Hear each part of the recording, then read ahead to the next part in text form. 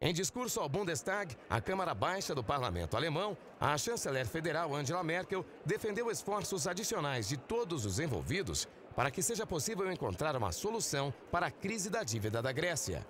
Ela ressaltou, porém, que não haverá uma solução rápida para o caso.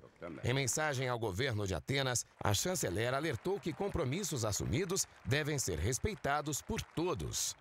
O novo governo grego tentou várias vezes relaxar seus compromissos por reformas assumidos em contrapartida ao bilionário pacote de resgate da União Europeia e do Fundo Monetário Internacional. Merkel suavizou as expectativas quanto a uma solução definitiva para a crise da Grécia durante a reunião de cúpula da União Europeia, que começa nesta quinta-feira em Bruxelas. Para ela, nem a visita do primeiro-ministro grego Alexis Tsipras a Berlim na próxima segunda-feira deve resolver o caso num curto prazo.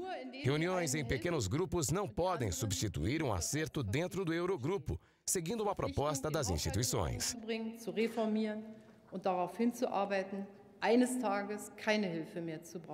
Apesar de não estar na agenda, a situação da Grécia deverá marcar a reunião de cúpula que vai durar dois dias. Durante o evento, o primeiro-ministro grego terá encontros reservados com Merkel e com o presidente da França, François Hollande.